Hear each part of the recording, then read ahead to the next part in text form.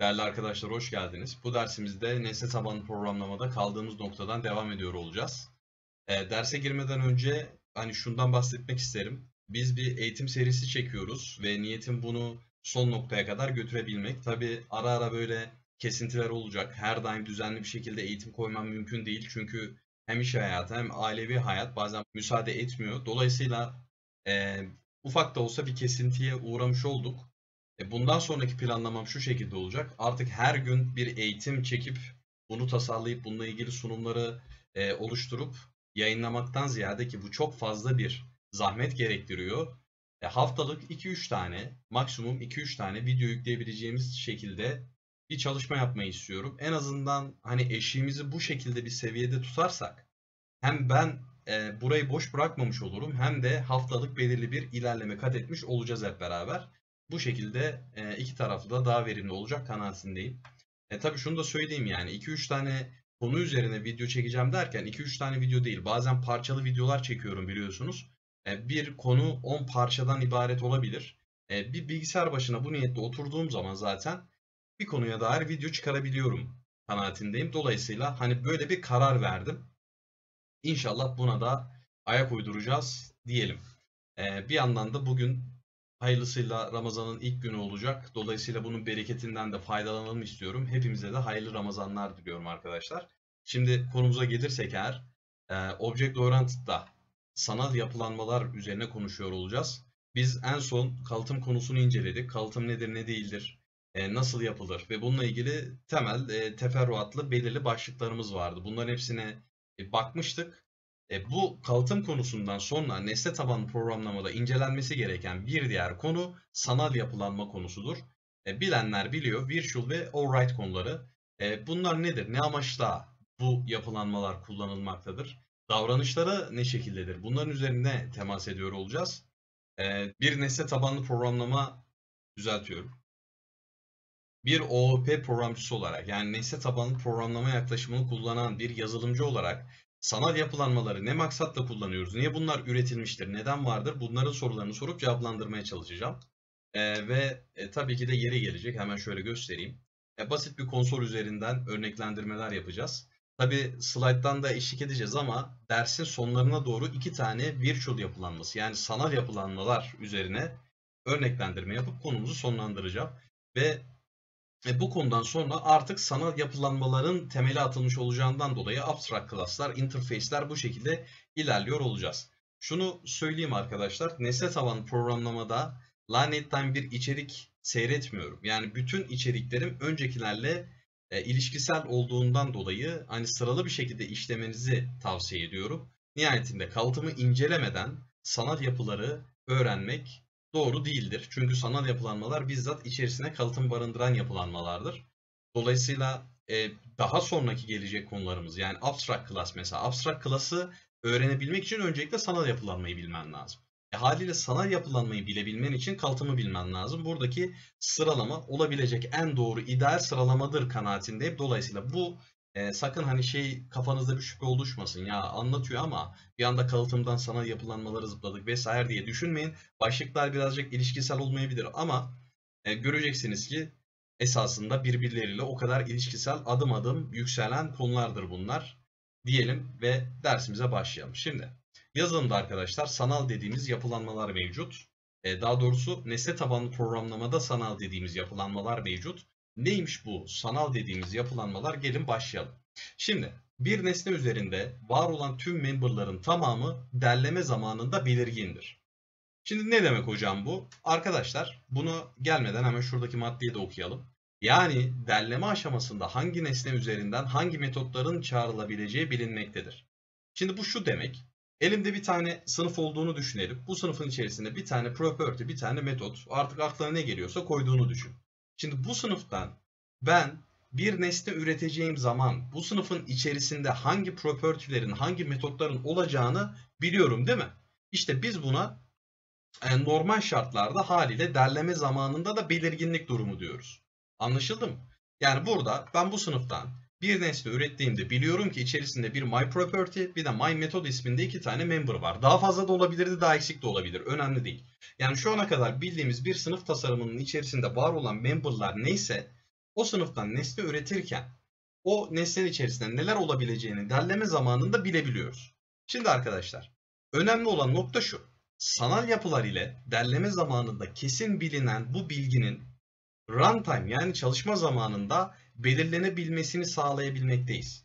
Yani bir member'ın bir sınıfın içerisinde, bir nesnenin içerisinde olup olmayacağını runtime'da çalışma zamanında belirlemek istiyorsan bunu biz sanal yapılanmalar sayesinde sağlıyoruz. Haliyle arkadaşlar ilgili nesnenin hangi metodu kullanacağı ya da hangi property'yi kullanacağı runtime'da kararlaştırılıyor sanal yapılanmalar sayesinde. Şimdi diyeceksiniz ki ya hoca bunun kalıtımdan sonraki konuyla ne alakası var? Bunun ne demek bu? Yani bu anlatmaya çalıştığın şey hiç kafamda yer etmedi diyeceksiniz. Haliyle bu dersimiz zaten bunun üzerine olacaktır. Dolayısıyla ilk başta böyle bir girizgah yaptık ama anlamamanız da gayet normal. Şimdi gelin bunu açalım. Devam ediyorum. Sanal yapı dediğimiz olay nedir? Arkadaşlar sanal yapılar bir sınıf içerisinde bildirilmiş olan ve o sınıftan türeyen alt sınıflarda tekrar bildirilebilen yapılardır. Şimdi sanal yapının özelliği buradan geliyor. Bak bir sınıf içerisinde bildirilmiş olan bir member'dır. Bir sınıf içerisinde bir member'dır aslında sanal dediğimiz yapı. Ve bu sınıftan türeyen bir başka sınıfta tekrardan da bildirilebiliyor bu yapı. İşte ya burada ya da burada bildirilebildiği için e, derleme zamanında hangisinde olduğunu bilemeyeceğiz biz bunun. İşte bunun runtime'da farkına varılacak. Ondan dolayı sanal yapılanmalar deniyor. Şu anda dediğimi de çok fazla anlamamış olabilirsiniz. İlerledikçe daha da netleşecek. Şimdi devam edelim. Bu arada kamera görüntüsü çok büyük olmuş sanırım. Neyse şimdilik böyle idare edelim. Bundan sonrakilerde bir tık küçülteceğiz. Şimdi arkadaşlar sanal yapılar metot ya da property olabilir. Tamam. En azından şimdilik kesin olarak net anlayabileceğimiz ilk bilgimiz bu olsun. Sanal yapılar metot ya da property'ler olabilirler. Şimdi dikkat. Arkadaşlar burada ne dedik? Türeyen alt sınıflarda tekrar bildirilebilen yapılardır dedik. Şimdi aklınıza kalıtımdan direkt şu gelecek. Name hiding konusu da bu değil miydi? Yani kalıtımda ne vardı? Elimizde hemen şöyle ben bir dijital tahtamı açayım. Hemen şöyle bir, biraz bekleteyim. Zoom it. Bu arada çok soruyorsunuz Zoom it. Arkadaşlar benim kullandığım dijital tahta Zoom it. Şimdi e, diyelim ki bir tane sınıfım var. Bu sınıfın içerisinde de varsayalım ki işte public şuk yazalım. Public void x diye bir metodum olsun. Şimdi bu sınıftan türeyen bir başka sınıfım olduğunu düşünelim. Bu sınıfta ise yine ben aynı imzada bir başka metot tanımlayabiliyorum. Şimdi arkadaşlar bu sınıfımız A olsun, bu sınıfımız B olsun. Biz bunu incelemiştik önceki dersimizde. Neydi bu? A sınıfındaki bir member A sınıfından türeyen başka bir sınıfta örneğin B sınıfında yine aynı imzayla tanımlanıyorsa biz buna ne diyorduk? İsim saklama yani name hiding durumu diyorduk. Burada artık B'nin üzerinden biz bir nesne ürettiğimizde bu nesnedeki X arkadaşlar B'den gelecektir ve A'daki e, X metodunu ezmiş olacaktır. İşte bu isim saklamadır. Şimdi isim saklama durumunda hani şuradakinden çıkarım yapabilirsiniz. Dersiniz ki ya hocam sanal yapılar bir sınıf içerisinde bildirilmiş olan ve o sınıftan türeyen alt sınıflarda tekrar bildirilebilen yapılara sanal sınıf diyorsun ama biz bunu name hiding zaten demiştik. Değil arkadaşlar. Bakın name hiding base class'ta tanımlanmış olan bir member'ın e, kendisinden türeyen sınıflardan herhangi birinde tekrardan tanımlanmasıdır.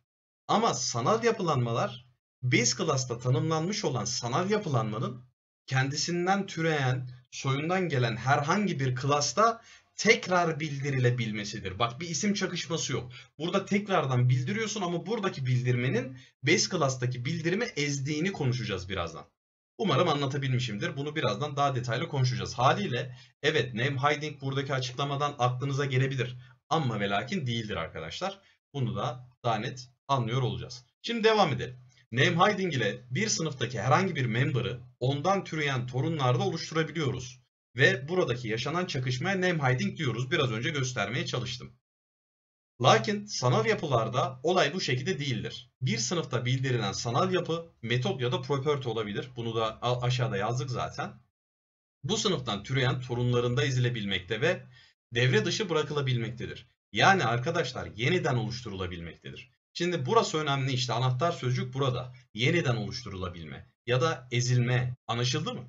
Dolayısıyla arkadaşlar burada e, name hiding durumunda var olan bir member aynı isimde kendisinden türeyen farklı bir sınıfta aynı isimde aynı imzada tanımlanıyorsa bu name hiding. Ama ve lakin sen var olan bir member'ı kendisinden türeyen herhangi bir sınıfta ezip içeriğini yeniden oluşturmak, var olan algoritmasını, var olan işlevselliğini, davranışını yeniden şekillendirmek istiyorsan biz buna sanal yapılanma diyoruz. Çünkü biz buradaki yapılanmayı yani var olan bir e, atalardan gelen bir özelliğin davranışını torunlarda herhangi bir noktada değiştirmek istiyorsak, ondan sonra bu şekilde davranış sergilemesini istiyorsak biz bunu sanal yapılanmalarla sağlıyoruz. Name hiding isim çakışmasıdır. Yani atalarda var olan aynı isimdeki bir member torunlardan herhangi birinde de vardır.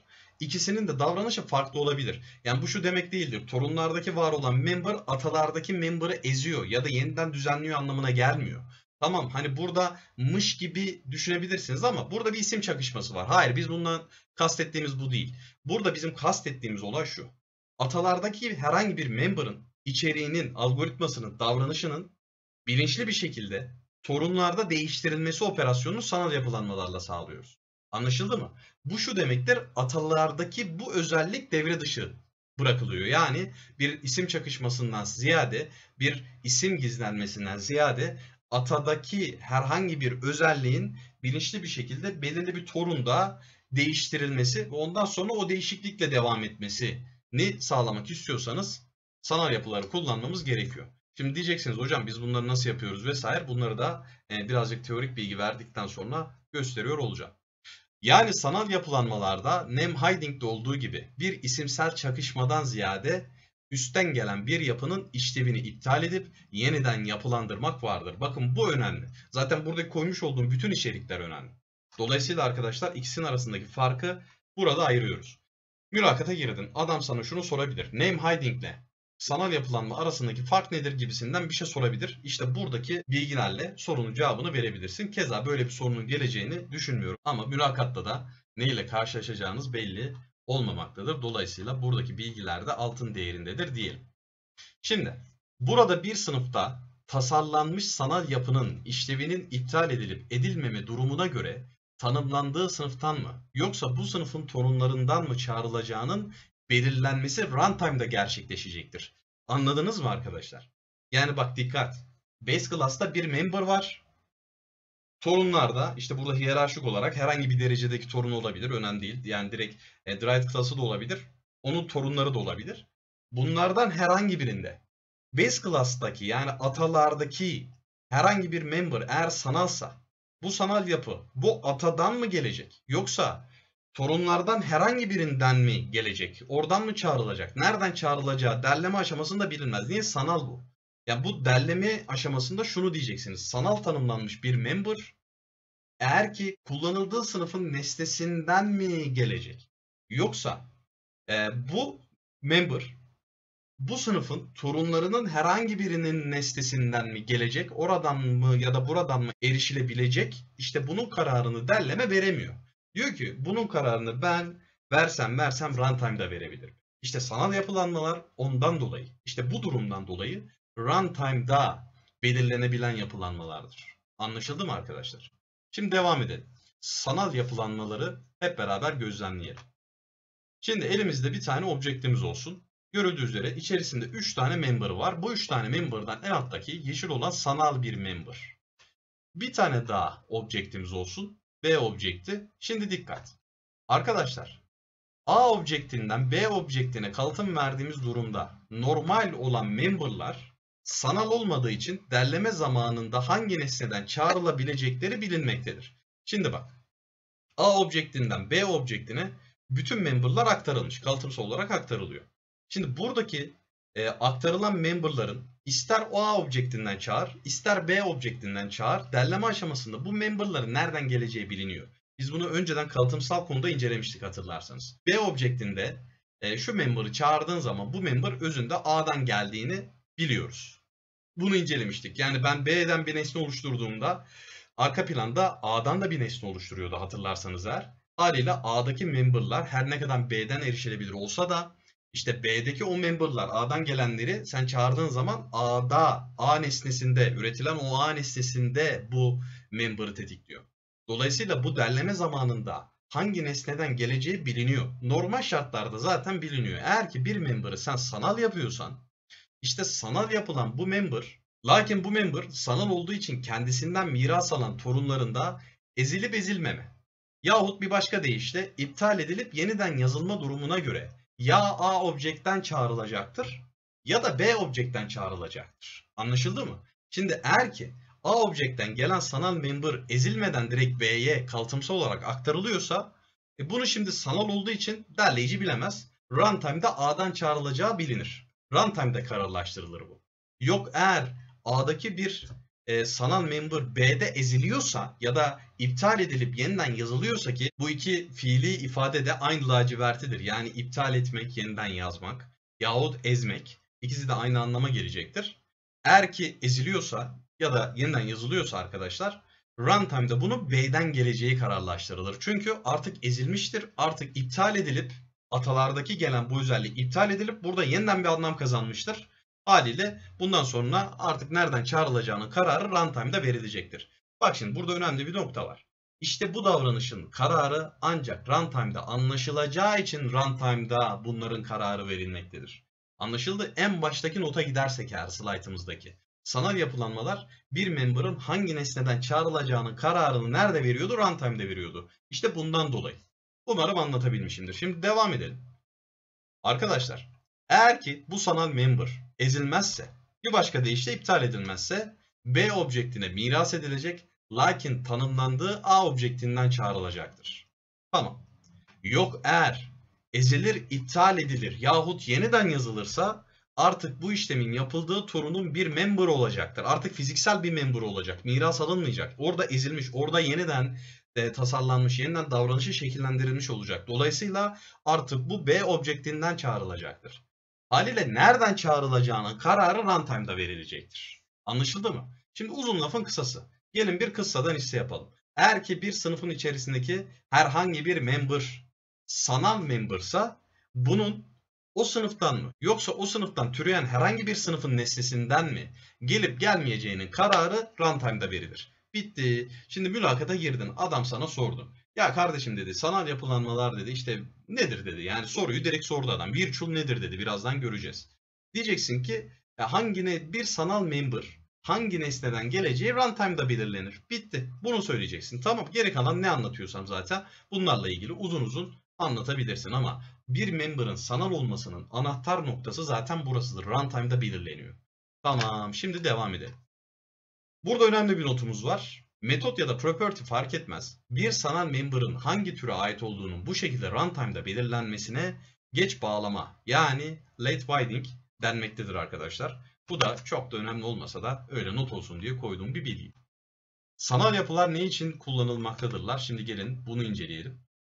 Bir sınıfta tanımlanmış olan herhangi bir member'ın kendisinden türeyen alt sınıflarda name hiding durumuna düşmemeksizin ezilip yahut bir başka deyişle yeniden yazılıp yapılandırılması için kullanılmaktadırlar. Şimdi devam etmeden önce burayı biraz daha açayım. Bu ne demek? Şimdi arkadaşlar ee, gene hani bir biyolojik bilgi üzerinden gidelim. Diyelim ki benim babamın bir huyu var. Çok sinirli bir adam. Böyle asabi bir adam. Biz biliyorsunuz Karadenizliyiz. Haliyle atalardan yegane bir mirasımız vardır. Sinir hastalığı.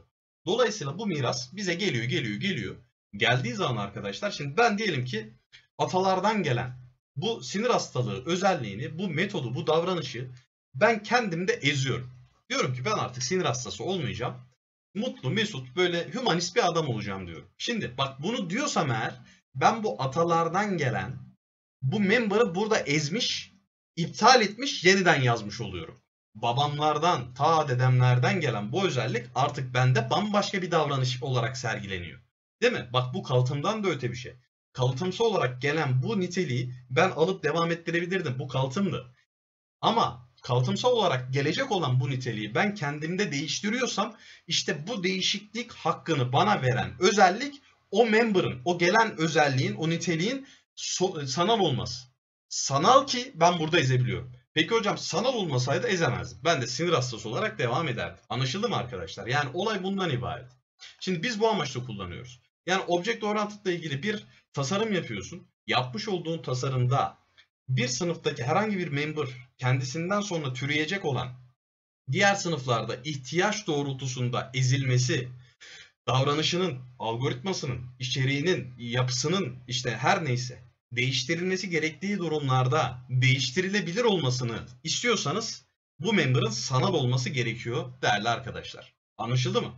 Evet bu cepte. Şimdi gelin devam edelim. Ee, peki bu zorunlu mu? Şimdi buradaki arkadaşımız neyin zorunlu mu olduğunu soruyor. Bir member sanalsa eğer illaki bu değiştirilmek, ezilmek, iptal edilmek, yeniden yazılmak zorunda mı? Arkadaşlar bir sanal yapı illaki kendisinden türeyen torunlarda ezilmek ya da yeniden yazılmak zorunda mıdır? Tabii ki de değildir arkadaşlar. Burada hemen şuradaki notumuzu daha net görebilmek için ee, şöyle yapalım. Şöyle ben birazcık sağa doğru çekeyim. Daha doğrusu sola doğru çekeyim. Şimdi gelin hep beraber okuyalım burayı. Tabii ki de hayır. Yani bir member sanal yapıdır diye illaki kendisinden türeyen alt sınıflarda ezilmek zorunda değildir. Yani benim atalarımdan gelen sinir hastalığı niteliği illaki bende ezilmek zorunda değil. Bak sanal olsa dahi değil. Amma ve lakin ben bunu ezebilir miyim? Ezebilirim. Sanalsa ezebilirim. Anlaşıldı mı arkadaşlar? Ama ezmek zorunda değilim. Yani sanal olan memberlar normal member'dır. Artı olarak ezilebilen, override edilebilen, bunu daha sonra göreceksiniz. Değiştirilebilen sorunlarda farklı olarak nitelendirilebilen memberlardır. Artı olarak. Ama normal bir member'dan da böyle aman aman bir farkı yoktur. Anlaşıldı mı?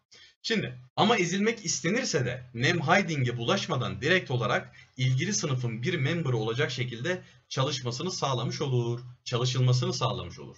Yani eğer ki sen e, atalardan gelecek olan sinir hastalığı, rahatsızlığını ezmek istiyorsan o atalardaki bu özelliğin bende name hiding'e uğramaksızın direkt olarak ezilmesini, direkt iptal edilmesini, olması gereken şekilde davranışının değişikliğe uğratılmasını sağlayacak olan bir özelliktir. Şimdi diyeceksiniz ki ya hocam bir member ezilmek, davranışının değiştirilmesi isteniyorsa bu member kesinlikle sanal mı olması lazım? Evet, kesinlikle sanal olması gerekiyor. Yani sen name hiding'de bunu yapıyormuşsun gibi olabilir ama name hiding olumsuz bir durumdur. istenmeyen bir durumdur. Object Oriented tasarımlarında name hiding'den ziyade iradenle yönettiğin hani hangisinin ne durumlarda iptal edildiğinin kararını verdiğin bir tasarım istenir. Dolayısıyla name hiding'den ziyade biz burada e, sanal yapılanmaları tercih edeceğiz. Tamam? Name hiding kötü bir şey. Onu mümkün mertebe ondan kaçıyoruz. Yapmıyoruz onu. Ne yapıyoruz? Neyi tercih ediyoruz? Sanal yapılanmaları tercih ediyoruz. Şimdi gelin biraz daha konuları açalım. Bir sınıfta sanal yapı oluşturabilmek için ben ne yapmam lazım hocam? Nasıl çalışma yapacağız?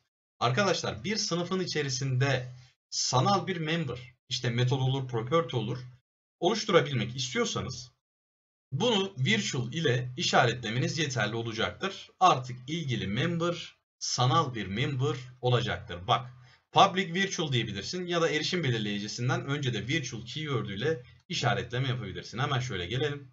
Bakın görüldüğü üzere burada bir my metodumuz var. Şimdi my class'ın içerisindeki my metod normal bir metot. Ama ve lakin gelip de sen bu my metodu virtual'a işaretlersen bu artık sanal bir metot. Ne demek oluyor bu? Şimdi bak soldaki my class'tan türeyen bütün sınıflarda sadece miras olarak aktarılabilir. Başka da bir naneye yaramaz. Ama sağdaki my class'tan türeyen bütün sınıflara miras olarak aktarılabilir. Başka da aktarılan bu sınıflardan herhangi birinde ezilebilir. Bir başka deyişle iptal edilip yeniden yazılabilir. Yani algoritması, içeriği, davranışı değiştirilebilir ve bunu yaptığın zaman da name hiding olmaz. Gayet hani object oriented tarafından desteklenen, e, tasarımsal açıdan onaylanan bir tasarım olur. Anlaşıldı mı? Bakalım başka bir örneğe. Şimdi my class'ta bir tane property'm var. Bu normal property. Yani bütün alt sınıflara direkt miras olarak aktarılır. Başka bir şey yapamazsın.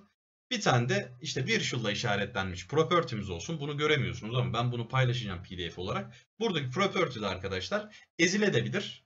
İstersen de miras olarak kullanabilirsin. Bak virtual'la işaretlediğinde artık sen bu member'ı sanal yapmış oluyorsun. Şimdi ikisinin arasındaki temel fark bu. Bir ikinci fark ne olabilir? Bu derleme zamanında hangi sınıftan çağrılacağı belliyken bunun derleme zamanında hangi sınıftan çağrılacağı belli değil. Niye değil? Ya e, kendi alt sınıflarından birinde ezildiyse bunu derleme zamanında bilemiyoruz işte. Bunu bilebildiğimiz tek bir nokta var. Neresiydi o? runtime. Güzel. Devam. Sanal yapılar nasıl ezilir? Hemen bakalım. Arkadaşlar bir class'ta virtual ile işaretlenerek sanal hale getirilmiş bir member, metod ya da property bu class'tan miras alan torunlarında ezilmek yani bir başka deyişle yeniden yazılmak isteniyorsa şimdi biliyorum her seferinde ezilmek ya da bir başka deyişle yeniden yazılmak sürekli bunu niye söylüyorsun hocam diyeceksiniz. Aklınıza yer etsin diye. Eğer ki ben bunu bir karede söylemezsem orayla ilgili soru geliyor. Hocam bu ikisi aynı şey mi diye biliyorum. Ondan dolayı her seferinde ben üşenmeden söylüyorum. Aklınıza yer etsin diye. Tamam mı arkadaşlar? İkisi de aynı anlama geliyor. Hadi ben bundan sonra ezilmek diyeyim. Bakalım ilk bu soruyu kim soracak merak ediyorum. Ezilmek isteniyorsa eğer ilgili klasta imzası alright keyword ile işaretlenmiş bir vaziyette tekrardan aynı member oluşturulmalıdır. Şimdi dikkat. Bak my class'ta bir tane metodum var. Ne ile işaretlenmiş? Virtual ile işaretlenmiş. Ne demek bu? Yani bundan türeyen herhangi bir sınıfta ben bu my metodu override edebilirim. Yani ezebilirim. Değil mi arkadaşlar? Peki nasıl yapıyoruz bunu?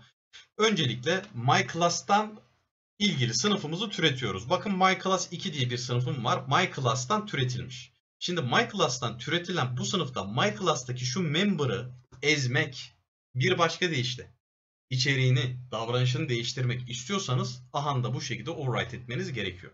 Sen bunu overwrite ettiğinde artık my method buradan değil buradan gelecektir. Tabi hangi durumda sen eğer ki my metodun my class nesnesi üzerinden çağırıyorsan haliyle tabii ki de my class nesnesinden gelecektir. Ama ve lakin my class 2 nesnesinden çağırıyorsan artık my class 2 nesnesinin içerisinde ezilmiş, içeriği yeniden oluşturulmuş. Hani burada diyelim for döngüsü var, burada while döngüsü var. Diyelim burada kapıyı açıyor, burada pencereyi açıyorsun. Diyelim işte burada yaşını hesaplıyor, burada e, diyelim ki adam buradan Urfa'ya gönderiyor. Sallıyorum yani hangi işi yapıyorsun. Tamam. İçeriği değişmiş bir kere. İçeriğini değiştirmişsin. Davranışı değişmiş. Bambaşka bir şey yapmışsın. Bambaşka bir e, algoritmayı oluşturmuşsun. Ha işte bunu bu şekilde yapabiliyorsun. Burada değiştiriyorsun. Haliyle MyClass 2'de overwrite ettiysen sen bunu artık bunun MyClass 2'den gelmesi lazım. Çünkü yenilendi bu. Ezildi bu. Haliyle nerede ne zaman geleceği derleme aşamasında belli olmayacağından dolayı runtime'da belli oluyor. Anlaşıldı mı arkadaşlar? Aynı durum property'ler için de geçerlidir. Şimdi base class'ta bakın buradaki e, yazdığım notlar önemli. Onun için hemen şöyle çıkalım. Şöyle bir daha e, geleyim. Hmm, burada göremiyoruz tabi. Şöyle yapalım. Ben şurayı hemen arkadaşlar bir ilgilenip geliyorum. Evet şimdi slaytımızın tasarımını tabi şuradaki kameraya göre hazırlamadığımdan dolayı e, bazen bu şekilde kesintiler oluyor. Olsun ziyanı yok. Şimdi e, burada ne yazdı önemli arkadaşlar. Gene hep beraber okuyalım. Base class'ta ya da atalarda herhangi bir at olabilir, baban olabilir, deden olabilir, büyük baban olabilir. Ta Adem'e kadar gidersin böyle. Virtual ile işaretlenerek sanallaştırılmış herhangi bir member torunlarda illaki override edilmek zorunda değildir. Yani sen bu myClass'taki virtual ile işaretlendi diye my metodu myClass 2'de override etmek zorunda değilsin. Ama edebilirsin. Tamam. Etmezsen my metod direkt buraya kalıtımsı olarak gönderilmiş olacaktır. Runtime'da da my metodun my class'tan geleceği belirlenmiş olacak. Bak virtual olduğu için gene runtime'da anlaşılacak ama olsun my, my class'tan gelecek. Edersen de burada sen bunu ezmiş olursun. E bunun da my class'tan geleceği anlaşılır. Tamam mıyız arkadaşlar? Şimdi ama bir torun class base class'taki herhangi bir member'ı override edecekse eğer o member'ın kesinlikle virtual ile işaretlenmiş olması gerekmektedir. Ne demek hocam bu? Şimdi arkadaşlar ben atalardan gelen herhangi bir member'ı overwrite edeceksem kesinlikle o member'ın virtual ile işaretlenmiş olması gerekiyor. Anlaşıldı mı? Bak virtual gelen herhangi bir member illaki ben de overwrite edilmek zorunda değil. Ama overwrite edeceksem kesinlikle virtual olarak gelmiş olması lazım. Anlaşıldı mı? Umarım bunu anlamışızdır. Burada bir üçüncü maddemiz daha var. Onu da e, ben gene söyleyeyim arkadaşlar. Virtual ile işaretlenmemiş bir member kesinlikle override edilemez. Tamam mı? Kesinlikle override edilemez. Şimdi mülakata girdin.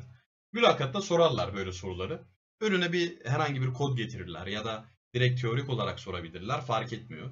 İşte buradaki hata nedir gibisinden bir soru olabilir. Adam gelir burada my class ver, verir ya da farklı bir isim de olabilir. Burayı sembolik olarak değerlendireceksiniz. Hemen şurayı kapatalım.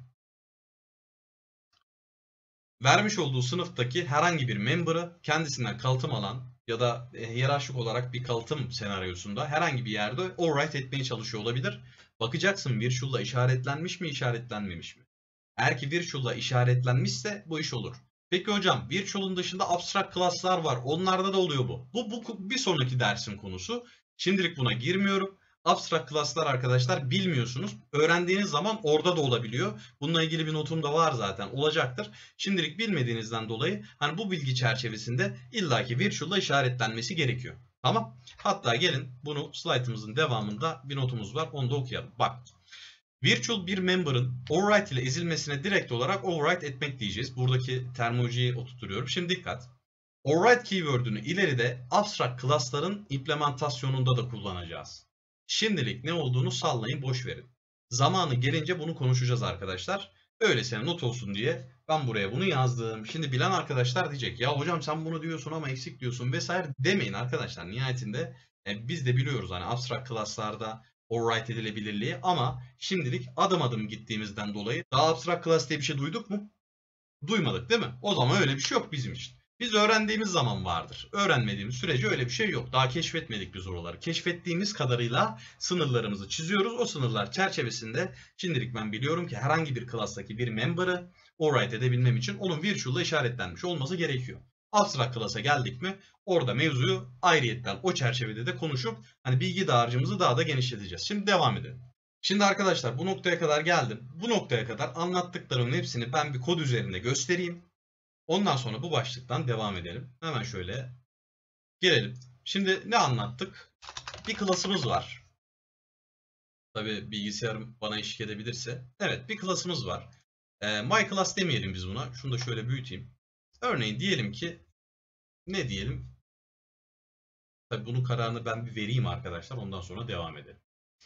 Evet şöyle yapalım arkadaşlar. Burada bu klasımızın adı obje olsun. Obje diye bir klasım var. Ve bu class içerisinde e, şöyle bir çıktı verecek bir metot barındırsın.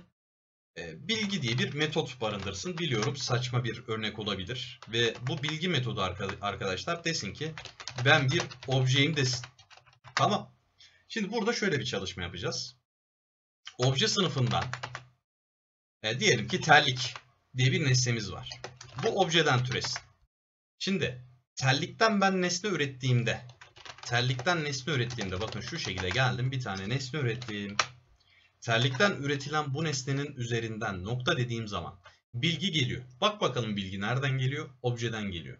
Şimdi bunun derleme zamanı nereden geleceği belli. Ne, ya buradan gördüğümüz için belli demiyorum. Bu derleme compile edilirken de belli. Neden? Çünkü bu normal bir member. Haliyle buradaki bilgiyi ben çağırdığımda arkadaşlar ekrana ne yazacaktır? Ben bir objeyim yazacağım. Değil mi? Şimdi bir görelim biz onu. Ondan sonra ben mevzunun devamını getirmeye çalışacağım. Ee, tabi bugün çıktığı verirse eğer inşallah getirmeye çalışacağız. Evet görüldüğü üzere arkadaşlar ben bir objeyim dedi. Şimdi diyeceksiniz ki ya hocam terlik bir terliktir. Dolayısıyla terlikte bilgiyi çağırdığımızda ben bir objeyimden ziyade ben bir terliğim deseydi ya bunu normal bir member sürecinde nasıl yapmayı düşünüyorsunuz? Yapamazsınız değil mi? Şimdi gelin bir tane daha bir obje yaratalım. Terlik değil. Bunun adı da ne olsun mesela arkadaşlar? Diyelim ki kalem olsun. Kalem de bir nedir? Objedir değil mi? Şimdi kalemin nesnesi üzerinden de ben bilgiyi çağırdığım zaman hemen şöyle geliyorum. Şimdi bakıyorsun bunu tekrardan derliyorum. Kalem ve bilgi, e, terlik nesneleri üzerinde bilgiyi çağırdığımda her ikisi de ben bir objeyim diyecek. Şimdi siz diyeceksiniz ki bakın görüldüğü üzere her ikisi de ben bir objeyim diyor. Şimdi diyorsunuz ki haklı olarak ya kardeşim tellikte ben bir telliyim, kalemde de ben bir kalemim demesini istiyorum. Bunu nasıl yapabilirim? İşte bunun için sanal çalışmanız lazım. Yani diyeceksin ki ya kardeşim buradaki sabit yazılmış kod, algoritma, davranış benim bundan türeyen sınıflarımda geçerli değil. İşte geçerli olmadığı durumlarda bu davranışı benim değiştirebilmem lazım. Normal şartlarda bunu değiştiremezsin. Ama ve lakin gelip sen bunu virtual'la işaretlersen tabii ki de virtual erişim belirleyicisinin solunda ya da sağında olabilir fark etmiyor. Burada olabilir ya da sağında da olabilir. E, bu benim bilgisayarım arkadaşlar Allah'tan formatladım daha da yavaşladı. Neden böyle oldu bilemiyorum ama bir sıkıntı yaşıyorum bu son zamanlarda. CPU tüketimi çok fazla. Görüyorsunuz yani hani bir şunu silemedik bile. Hemen bir düzeltip devam ediyorum. Velhasıl arkadaşlar hani şöyle biz devam edersek erişim belirleyicisinin soluna ya da sağına virtual keyword'ünü koyduğunuz zaman artık ilgili member normal bir member'dan ziyade ezilebilen, override edilebilen bir nitelik kazanıyor. Yani sanallaştırılıyor. Şimdi burada ben terlik sınıfında ve kalem sınıfında objenin içerisindeki virtual olan bu member'ı override etmediğim sürece gene bu bilgi metodu buralara kalıtımsal olarak aktarılacaktır. Ama ve lakin arkadaşlar bu aktarım neticesinde e, bu bilginin hani nereden hangi nesneden çağrılacağını karar runtime'da verilecek. Şimdi sen artık buradaki bilgiyi çağırırken bu bilgi burada tam obje diye yazıyor. Evet görebiliyoruz biz bunu ama derleme zamanında değil de bunun hani bu bilgisayar bunun farkındalığını runtime'da edinecektir. Sen biliyorsun nereden çağırdığını ama bilgisayarda runtime'da bunun kararını verecektir. Neden? Çünkü artık bu bir sanal yapılanmadır. Anlaşıldı mı arkadaşlar? Dolayısıyla bak eğer ki overwrite etmezsen gene bu normal bir member olarak aktarılacak ve gene her iki durumda da ben bir objeyim yazacaktır. Ama ve sen artık istediğin müdahaleyi yapabiliyorsun. Yani diyorsun ki kardeşim ben artık bu virtual yani sanal olduğundan dolayı bunu buralarda ezip işte ilgili sınıfa göre bir davranış sergilemesini sağlayabilirim diyorsun. Bunu nasıl yapıyoruz? Dediğim gibi aynı imzada bir metot oluşturuyorsun. Bu metot bu sefer override ile işaretlenmiş oluyor. Anlaşıldı mı? Bakın hala bunlar ben bir objeyim diyor. Şimdi bunu tekrardan kapatıp gelin burada gerekli çalışmayı yapalım. Şimdi siz uzun uzun işte public, e, void, işte bilgi diyelim. Bak burada herhangi bir override falan yapmadıysanız bu name hiding durumudur. Ama ve lakin sen bunu gelip erişim belirleyicisinin solunda ya da sağında override ile işaretliyorsan bak şöyle geldim override dedim. Şimdi arkadaşlar bakın override ile işaretleyebiliyorsan eğer ki bu virtual'dur. Eğer virtual olmasaydı override ile işaretleyemezdim. Nereden biliyorum? Bak virtual'ı kaldırdığım zaman burada override hata verecek. Şimdi bekliyoruz hata vermesini bekliyoruz. Evet hala bekliyoruz. Evet verdi. Görüldüğü üzere. Tabi direkt override'da değil de bilgi üzerinde verdi. Fark etmiyor kardeşim. Sen bunu override edemezsin diyor. Tamam. Haliyle bunun virtual olması gerekiyor. Şimdi virtual olduğu için override edebiliyorum. Artık ne yapmış oldum? Ben terlik sınıfının bir nesnesi oluşturulurken atadan gelen virtual yani sanal olan bir member'ı burada ezip davranışını değiştirmiş olduğum nasıl bir davranış değişikliği yapalım? Mesela burada diyorum ki ben bir terliğim desin. Bak farklı bir algoritma. Tamam böyle çok bariz bir algoritma farkı yok ama olsun. Farklı bir işlem, farklı bir davranış sergilemiş olduk. Anlaşıldı mı? Aynı şeyi burada da yapabiliyoruz. Şimdi hemen kısa yolu vereyim ben sizlere. Visual Studio'yu kullanıyorsanız eğer arkadaşlar override işlemlerinde override yazmanız yeterli olacaktır. Bak override yazıp boşluk bıraktığınızda görüldüğü üzere atalardan virtual olarak gelen bütün memberlar burada listelenecektir. Bakın bilgi nereden geliyor? Objeden geliyor. Objede bilgi virtual olduğu için burada override edebilirim. Enter'a bastığım zaman bilgi burada override edildi. Şimdi diyeceksiniz ki ya hocam override dediğimizde boşluk bıraktığımızda işte burada equals olsun, toString olsun bunlar bunlar da mı virtual? Aynen öyle. Bak bunlar nereden geliyor? Bunlar direkt object sınıfından. Hani nesnelerin ademi olan sınıfımız vardı ya bizim. Oradan geliyor. Bunlar da orada virtual olarak ayarlanmıştır. Hatta gelin ben bunu ispatlayayım size. Mesela getHashCode nereden geliyordu? Ee, object sınıfından geliyor. Object sınıfından gelen bu getHashCode arkadaşlar bir virtual metottur. Gelin gidip oraya bakalım. Hemen şöyle go to definition diyerek bakın görüldüğü üzere. Şimdi neredeyim? Object'teyim değil mi? Object demiş ki bana kardeşim equals olsun. Bak equals burada ne olarak? Virtual olarak işaretlenmiş. Yani diyor ki ezebilirsin. GetHashCode ezebilirsin toString ezebilirsin. Anlaşıldı mı? Yani virtual mimarilerde kullanılan bir yapılanmadır. Haliyle sen herhangi bir yapılanmayı override ederken biraz önce gösterdiğim gibi şu şekilde override yazacaksan eğer senin virtual olarak ayarladığın memberlarla beraber sistemin de var olan memberları yani object'ten gelen virtual olan bu temel memberlar da gelecektir. Tabii ki de sen sana lazım olanı orada override edip yoluna devam edeceksin. Anlaşıldı mı? Bak koca object sınıfında bile ilgili memberlar virtual'da işaretlenmiş. Yani boş bir konu değil. Kesinlikle bilinmesi gereken ve hakim olması gereken bir konudan bahsediyoruz. Şimdi burada ne yapıyoruz? Sen bunu bu şekilde yazdığında direkt işte base.bilgi diye içinde bir algoritmayla gelir. Sen bunu haliyle siliyorsun. Diyorsun kendine göre bir çalışma sergileyeceğim. Ben bir neyim ben? Kalemim. Değil mi? Kalemim diyelim. Evet. Haliyle ben bu şekilde bir çalışma yaptığımda artık tellik ve kalem sınıflarından üretilen nesne bu bilgiyi kendilerindeki override edilen fonksiyon olarak çağıracaktır. İşte bunun kararını nerede veriyordu? Harikasınız. Runtime'da veriyordu. Hemen çalıştırıyorum. Bekliyoruz.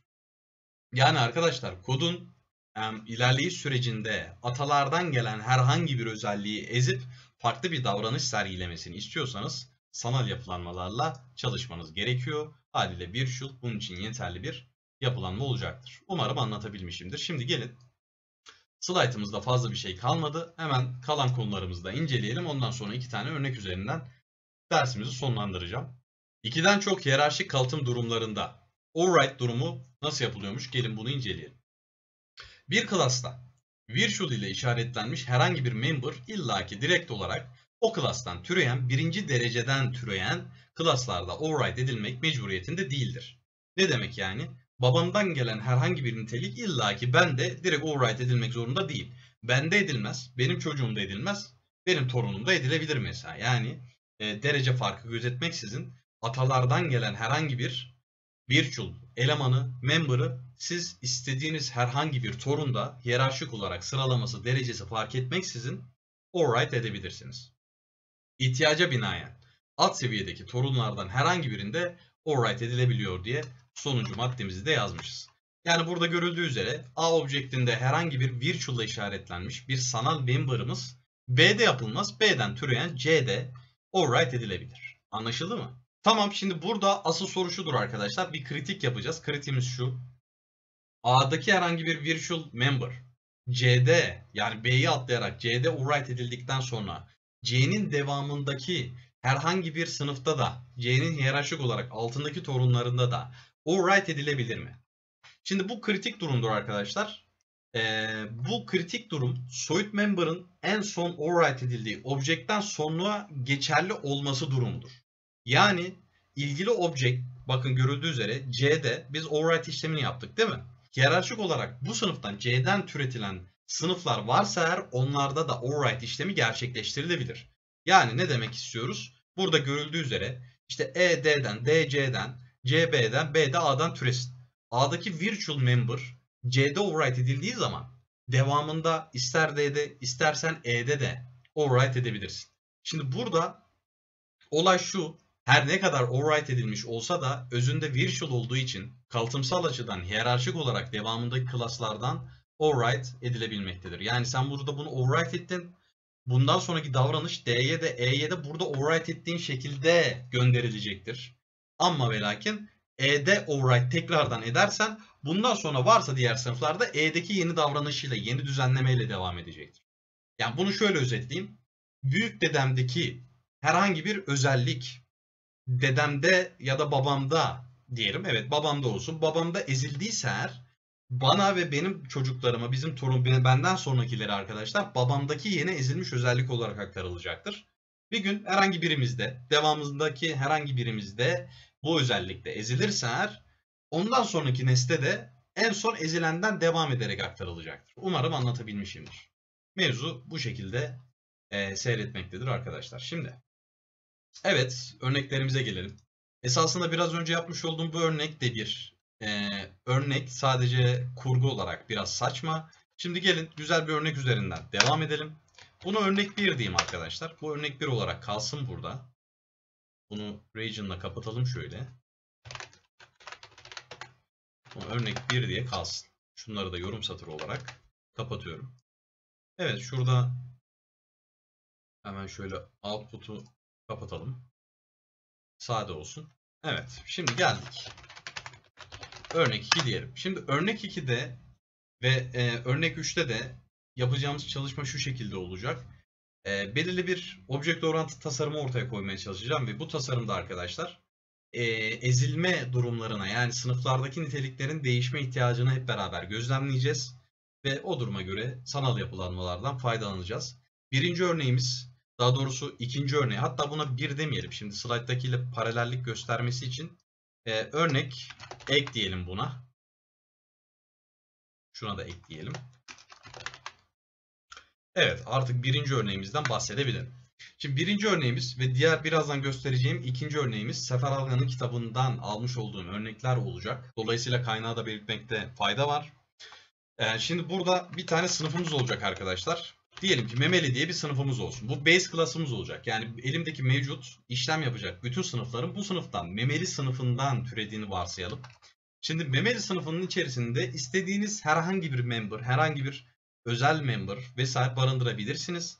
Ben şimdilik burada e, public e, void diyelim konuş diye bir metot koyuyorum bunun içerisine ve diyorum ki ben konuşmuyorum diye bir e, çıktı verdiriyorum.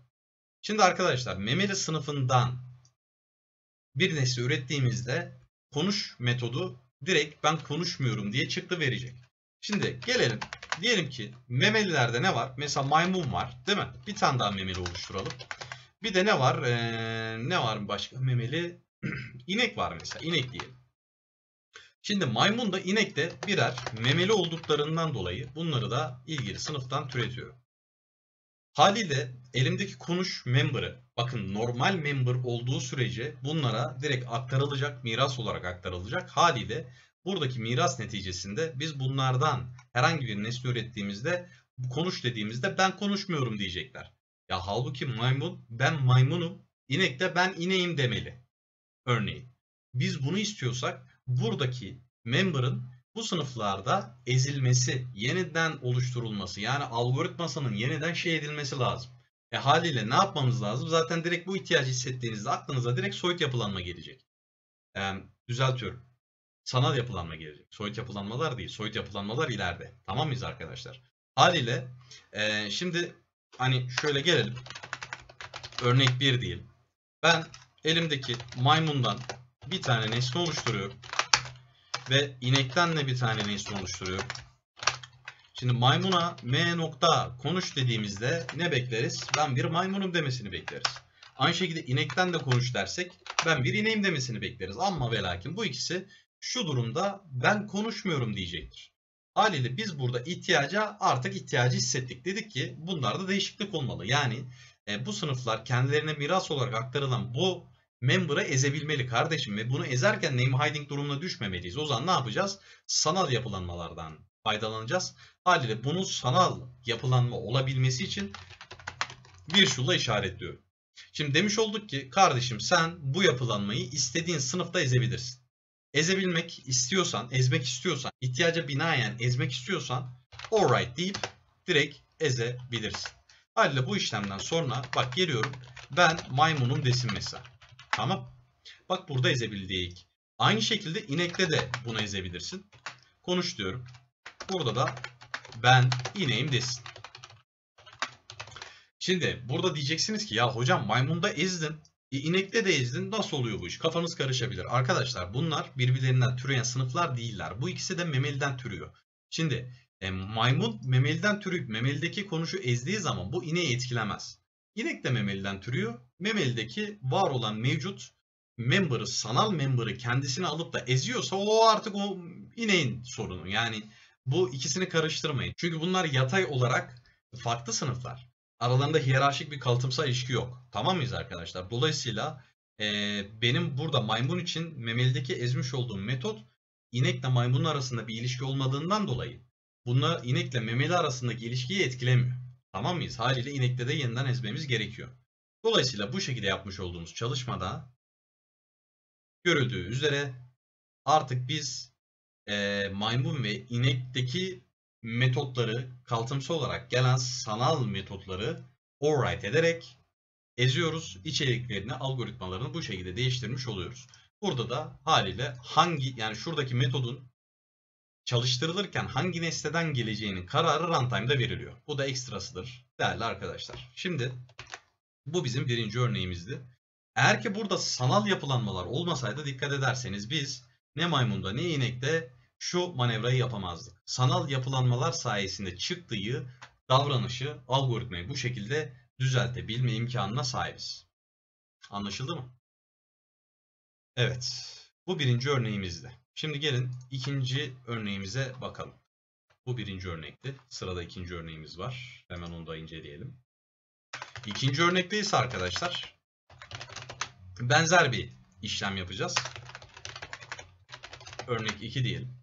Bir alan hesaplama operasyonu gerçekleştireceğim. Nesne tabanlı programlama nimetlerini kullanarak. Tabi burada e, bu operasyonu gerçekleştirirken e, çok böyle alan hesaplamaya dair matematiksel işlemlere girmeyeceğiz. Sadece elimde bir tane base class'ım olacak. Bu base class'ta tanımlamış olduğum ortak e, belirli özellikler işte üçgen, kare, dikdörtgen gibi e, farklı şekillerde ona göre davranış sergilemesini bekleyeceğim. Yani bir alan hesaplama operasyonu yaparken e, burada bu operasyonun nimetinden faydalanacağız. Yani davranışsal olarak e, sanal yapılanmaları buraya yakıştırmaya çalışacağım. Bu örnek de Sefer Algan'ın kitabından alınmış bir örnektir. Şimdi gelin bir tane şekil isminde bir base class'ımız olsun. Bu base class içerisinde ne barındırması gerekiyor diye sorarsanız şimdi bir boy barındırmalı bir de en barındırmalı. Doğru mu? Şimdi elimdeki şeklin bir boyu olacak bir de eni olacak. Ona göre ben alan hesaplaması yapacağım. Şimdi diyeceksiniz ki bütün şekillerin boyu ve eni var mıdır? Derinliği var yok işte bilmem başka bir şey var. Biz burada matematikle ilgili bir teori ortaya koymuyoruz. Basit birkaç tane şeklin alanını hesaplayacağım. Sadece bundan ibaret. Tamam mıyız arkadaşlar? Haliyle e, diyelim ki int boy diyeyim. Int e, ne diyecektik başka? Bir boyu bir de genişliği vardı değil mi? Eni vardı. En değil. Şimdi bu bilgileri şekil için benim bir yerden almam lazım. İstersem property'den alabilirim. istersem constructor'dan alabilirim. istersem metotlar üzerinden alabilirim. Artık bir yerden bunlara bu bilgiyi almam lazım. Haliyle ben bunları constructor'dan çekeceğim. Diyorum ki kardeşim sen şekil nesnesi oluştururken constructor'dan bir tane boy ver. Bir tane de en ver. E bunları da o vermiş olduklarına eşleştir. Yani gelen boyu aha da buradaki boy field'ına atayalım. Aynı şekilde eni de en field'ına atayalım. Şimdi elimdeki şekil herhangi bir şeklin boy ve en bilgileri elimde. Şimdi burada nasıl bir davranış şekillendireceğiz? Şimdi ben burada diyorum ki elimdeki şeklin ee, integer diyelim. Hani nihayetinde bize alan bilgisini döndürecek. Alan hesapla diye bir tane fonksiyonumuz olsun. Şimdi bu fonksiyonda elimdeki boy ve en bilgilerini kullanarak alan hesaplayacağım. Peki bu şekil ne? Şeklin ne olduğunu bilmediğimden dolayı buradaki alan hesaplamayı şimdilik sıfır diyorum. Şimdi base class'ımız bu. Gelelim diğer klaslarımıza. Şimdi geldim. Üçgen diye bir klasım olsun. Bu da bir şekildir değil mi? Şekilden türetiyorum. Hemen geliyorum. Class diyelim. İşte dörtgen diye bir klasımız olsun. Bu da bir şekildir. Şekilden türetiyorum. Başka ne olabilir? Bir de dikdörtgen var. Dik, dikdörtgen diye bir klasımız olsun. Bu da bir şekil olduğu için şekilden bunu türetiyorum. Başka bir şekilde aklınıza gelirse onu da ekleyebilirsiniz. Fazla da uzatmak istemiyorum. Şimdi diyeceksiniz ki hocam burada niye hata veriyor? Ee, eğer ki eğitimleri şu noktaya kadar sıralı bir şekilde adım adım incelediyseniz, izlediyseniz, notlarınızı aldıysanız neden burada hata verdiğini zaten şuradaki hata hatanın açıklamasından da rahat bir şekilde görebiliyorsunuz. Görmenize de gerek yok. Açıklamaya bakmaya da gerek yok. Direkt base class'ın constructor'ı parametre alıyorsa bu hata kaçınılmazdır. Ne yapıyorduk? Elimizdeki mevcut sınıfların constructor'larından base keyword'ünü kullanarak ilgili e, değerleri veriyorduk. Şimdi bir üçgenin boyu var değil mi? Biz buradaki değerleri buradan tekrardan alacağız. Bir de integer eni var. Bu üçgen nesnesi oluşturulurken boy ve en bilgilerini buradan gönderiyorum. Aynı şekilde e, dörtgen için ve aynı şekilde dikdörtgen için de bu işlemleri yapacağım. Hatta bunu hiç uzatmayayım. Şuradan kopyalayıp yapıştıralım arkadaşlar. Yoksa 6 saat hakikaten dersi uzatmış olacağız. Evet. Şimdi hani hasbel kadar işlem yapan nesnelerimizi, sınıflarımızı tasarlamış olduk. Yani şimdi burada gelip ben örneğin üçgen nesnesi oluşturduğumda diyorum ki bir üçgenim var. Bu üçgenin ee, bir kenarının uzunluğu 3 olsun. E, boyunun uzunluğu, eninin uzunluğu 4 olsun diyelim. Sallıyorum. İşte bunun e, alanı nedir? İşte alan hesapla dediğimde üçgene göre bir alan hesaplama yapması lazım değil mi? Üçgene göre bir alan hesaplama işlemini yapmamız gerekiyor. Burada da n'le boyu çarpıp 2'ye bölmemiz gerekecek. Ama ve lakin arkadaşlar alan hesapla nereden geliyor? Şekilden geldiği için sıfır değerini dönecektir. Biz üçgene göre bir algoritma burada yapmamış olacağız. Aynı şekilde dörtgen. Dörtgen için de geçerli. Dörtgende de sıfır dönecek. Mesela 3 ile 4 diyelim. Bunda da D nokta alan hesapla dediğimizde 0 dönecek. Base class'ta neyse o dönecek. Ya arkadaş ben de dörtgenin kendine göre alan hesaplama formülünü çalıştırmak istiyorum. Ona göre çalışmak istiyorum vesaire. İşte bu tarz bir ihtiyaçta ne yapmamız lazım? Alan hesapla fonksiyonunun bu sınıflarda ezilebilir olması lazım ki ben ilgili sınıftaki davranışa göre şekillendirme yapabileyim. Haliyle geldim. Virtual diyorum. Artık ezilebilir hale getirdim. Yani sanal hale getirdim. Hemen üçgene geldim. Alright diyorum. Bak alan hesapla geliyor. Eğer virtual'ı kaldırırsam alright dediğimde boşluğu bıraktığım anda alan hesapla gelmeyecek. Niye? Virtual'sa gelecektir. Anlaşıldı mı? Virtual ise alright dediğinizde alan hesapla geldi. Ahan da diyorum ki burada kardeşim ee, burada üçgen olduğundan dolayı boyla eni çarp ve bunu ikiye böl.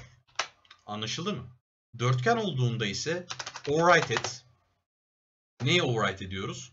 Yine alan hesaplayı overwrite ediyoruz. Niye bu gelmedi? Bir yerde patladık herhalde. Bir yanlış mı yazdık? Ha, şurada enam yazmışız. Ondan dolayı patlamış.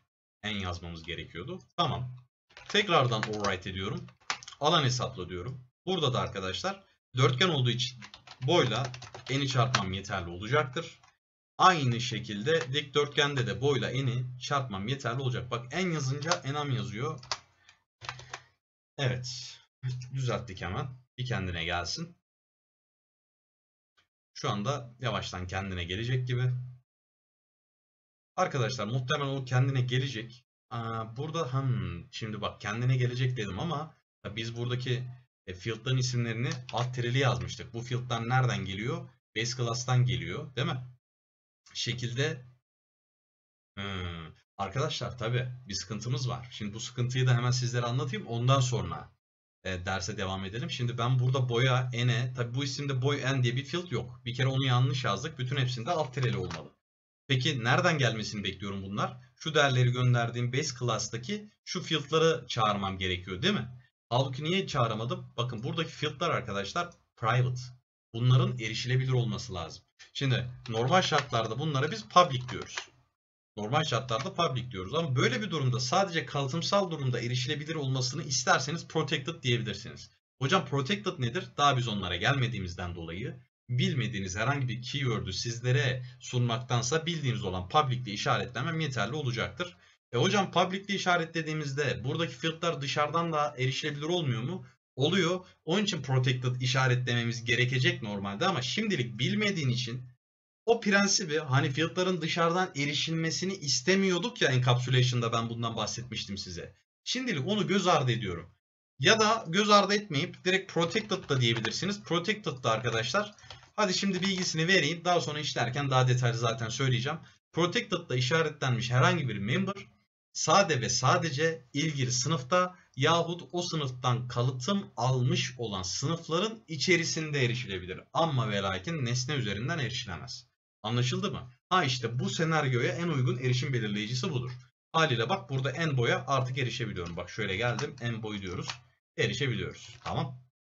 Bu da ekstradan e, bir bilgi olmuş olsun. Tabi bunun zamanı geldi mi erişim belirleyicisi konusunda şekilli şemalli ben size hepsini anlatacağım. Tamam mıyız? Şunu anlamayanlar lütfen arkadaşlar kafaya dert edinmesinler. Ya gene sorabilirsiniz ama dert edinmeyin. Şimdilik konumuz değil. Tamam. E, zaten biraz önce de anlattığım kadarıyla yani hani bir sınıfın içerisindeki protected sadece o sınıftan ya da o sınıftan türeyen klasın içerisinden erişilebilir. Başka da bir yerden erişemezsin. Ne nesne ne de başka bir şey. Yani ne kadar sorsan da alabileceğin tek cevap budur zaten. Dolayısıyla olay bu. Şimdi burada alan hesaplayı çağırdığımızda geriye integer döndüğünden dolayı e, direkt ben bunları ekrana yazdırayım. Şöyle gelelim. Şunu da ekrana hatta şuradan alayım arkadaşlar. Uzatmayayım. Şuna değdiğim sadece. Tamam. Bir de dikdörtgen var. Onunla ilgili örneklendirme yapmaya lüzum yok. E, aynı sonucu verecektir. Şimdi bir üçgenin kenarları 3 ile 4 ise bunun alanı kaçtır? 6 mıdır? Aynı şekilde dörtgen 3 ile 4 ise 12 olacaktır. Bakalım nasıl bir sonuç verecek? Hep beraber inceleyelim. Tabii burada bizim için sonuç önemli değil. Burada bizim için önemli olan atalardan gelen herhangi bir niteliğin ezilebilir olması. Bakın görüldüğü üzere. Evet bu şekilde biz e, sanal yapılanmaları kullanıyoruz. Dediğim gibi arkadaşlar sanal yapılanmalar oldukça önemli yapılanmalardır. Şimdi dersimizi sonlandırmadan önce şöyle genel bir özet yapalım. Dersi sonlandıralım. Sanal yapılanmalar OOP'de polimorfizm yani çok biçimlilik dediğimiz e, davranışı uygulayan yapılardır. Bunun ne demek olduğunu polimorfizm konusunu inceledikten sonra daha net anlayacaksınız. İleride göreceğimiz bir konudur. Onun için geçiyorum. Sanal yapıların en önemli özelliği geç bağlam yani late binding dediğimiz özellikleri. Neden bu özellik? Geç bağlam ne demek? Şimdi hangi nesnenin içerisinden ilgili member'ın geleceği ne zaman belli oluyor? Runtime'da yani geç hani late binding dediğimiz hangi nesneden geleceğinin kararı o zaman veriliyor. Dolayısıyla böyle bir özelliğe sahiptir. Eğer bir member sanal olarak bildirilmemişse derleyici nesnelerin tür bilgisinden faydalanarak derleme zamanında hangi nesneden ilgili member'ın çağrılacağını bilir. Yani normal member'lar hangi nesneden çağrılabileceği nettir, kesindir. Değişmez. Derlemeye göre, çalışma zamanına göre değişmez. Ama ve lakin arkadaşlar sanal olarak bildirilen member'larda dersimiz boyunca anlatmaya çalıştığım gibi bu durum değişkenlik gösterebilir. Haliyle sanal olanların kararı runtime'da belirlenir. Hangi e, member'ın, sanal member'ın hangi nesne üzerinden çağrılacağının kararı runtime'da belirlenir. Hangi member'ın runtime'da belirlenmesine geç bağlama denir arkadaşlar. İşte biraz önce söylemeye çalıştığım gibi. Sanal yapı oluşturabilmek için ilgili member'ı virtual'da işaretlememiz gerekiyor. Haliyle virtual'da işaretlenmiş member'lar e, torunlardan herhangi birinde ezilecekse eğer bunu override keyword ile yapabiliyoruz. Türeyen sınıflar sanal yapıları override etmek zorunda değildirler. E, edebilirsiniz, etmeyebilirsiniz. Sizin tercihinize, ihtiyacınıza kalmış. Opsiyoneldir. Ve ileride göreceğimiz bir konu var arkadaşlar. Statik yapılanmalar sanal olarak bildirilemezler. Hocam statik yapılanma nedir? Bunu da ileride bir başlık altında detaylı bir şekilde inceliyor olacağız. Object Oriented'dan sonra inceleyeceğimiz bir konu. Yani Object Oriented paketin içerisinde ondan sonrasına da birazcık uzantı yapmamız gerekecek ki Object Oriented'ı daha net bir şekilde anlayabilmemiz lazım. Statik yapılanmalarda e, Object Oriented'ı tamamlayan ama çok da böyle obje ile alakalı yapılan olmayan yapılanmalardır. Anlaşıldı mı arkadaşlar? Orada inceleyeceğiz. Şimdilik boş verin. Evet. Sunumumuz da burada bitmiştir. Umarım e, faydalı bir ders olmuştur kanaatindeyim. E, diyelim arkadaşlar. Evet yorucu bir ders oldu. Uzun oldu. Haliyle dersimizi artık sonlandırıyoruz. E, sonraki derslerimizde görüşmek üzere diyorum. Tekrardan bugün Ramazan'ın ilk günü olduğundan dolayı hayırlı Ramazanlar diliyorum. Umarım bol bol bereketiyle bizlere eşlik edecektir. İnancındayım. Yarınlarımız dün ve bugünümüzden hayırlı olsun diyorum arkadaşlar. Kendinize iyi bakın. Sonraki derslerimizde görüşmek üzere diyorum.